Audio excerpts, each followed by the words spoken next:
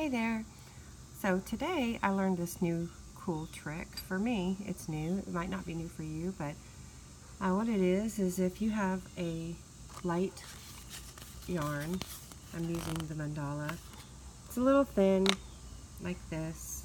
It's a light DK3 weight. It normally requires a five millimeter hook. I wanted to do something a little chunkier, so what I'm going to do is show you a trick I learned on how to make a thin yarn thicker.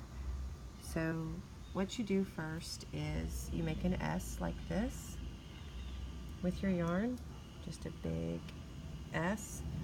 Then once you have your S, you bunch it together like that.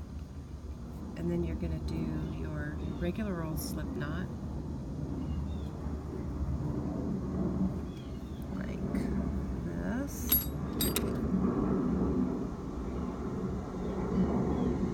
course there's an airplane going by. Of course there is.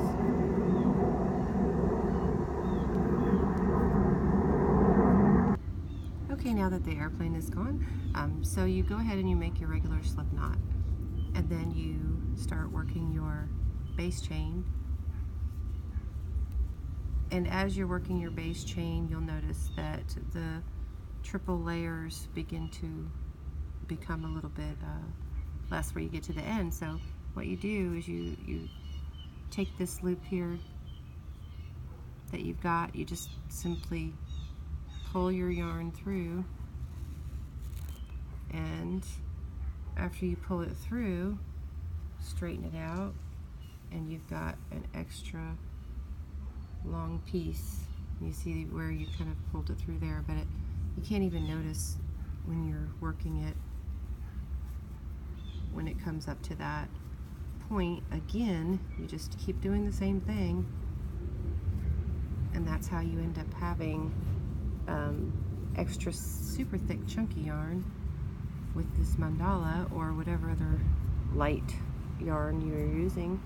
See here we are again at that point. So once you get there takes a little bit of extra time but it's kind of worth it because it makes a really cool different look to the yarns that we normally just use. And see, it has this chunky, chunky, and it's really soft. So I hope you enjoy this tutorial. If you have any questions, let me know. Um, you can always contact me on my page, my website, or email me at stardustgoldcrochet at gmail.com. Thanks for watching.